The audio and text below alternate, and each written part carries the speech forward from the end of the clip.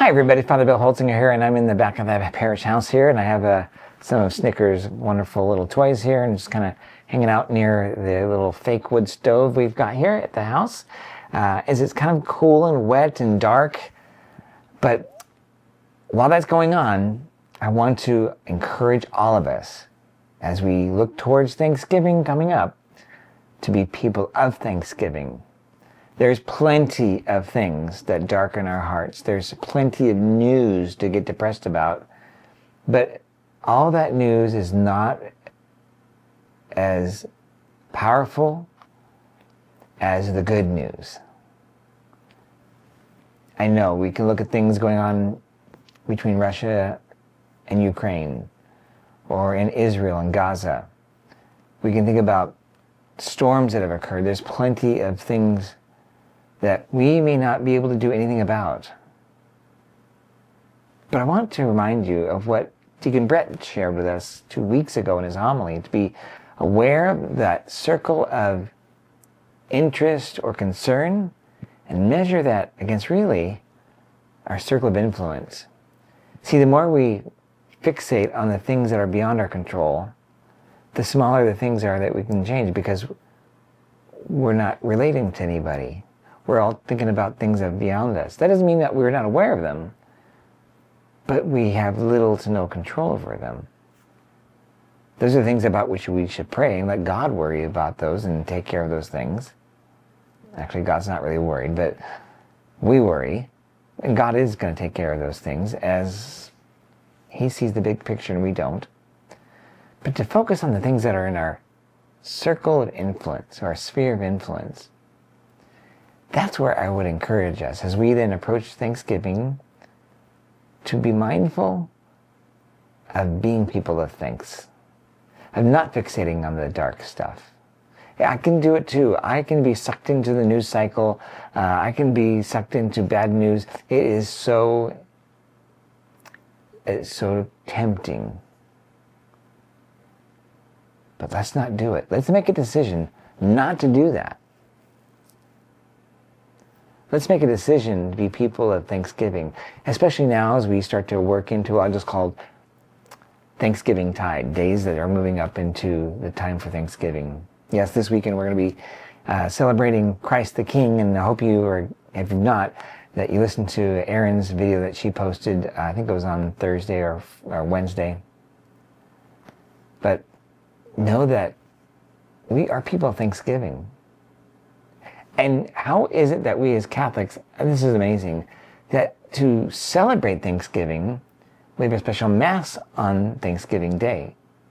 Not only that, the fact that Mass is what we do to show our Thanksgiving is profound because the very word Eucharist that we offer at Mass means in Greek thanksgiving or thanks.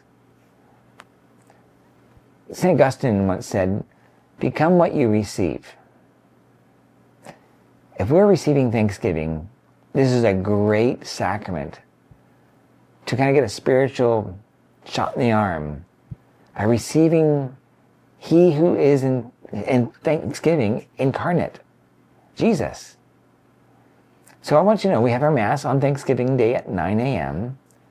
In that, you'll be encouraged during the time for the preparation of the gifts to bring forward any perishable gifts that you may have of food and things, and we'll pile them in before the altar there.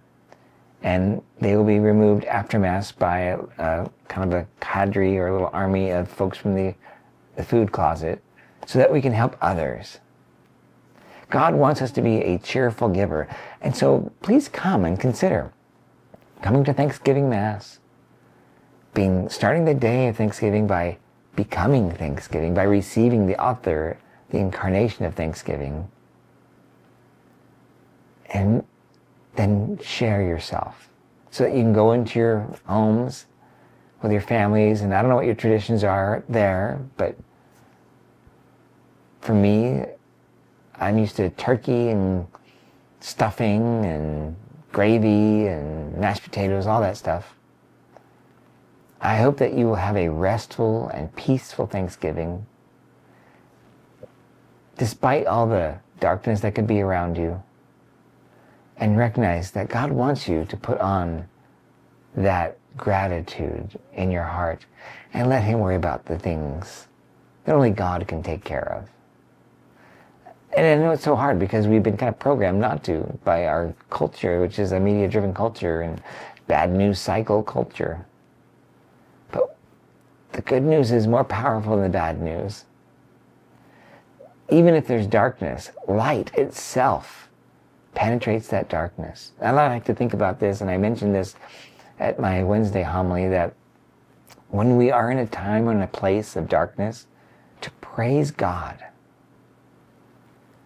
We're not going to praise God for the darkness, but we're actually, imagine this, we're praising God as a way of inserting into the darkness with our words and our voice and our hearts good news. I don't want to be a person of suspicion. I'm going to imagine you don't either. Because living in a life of suspicion and fear is no way to live a life. We're not fully alive by doing that. People that, in fact, you notice people that live, that have hearts that are gr- gr- grateful, they have full lives. Their hearts are full. I want to be like that. That's a gift from God.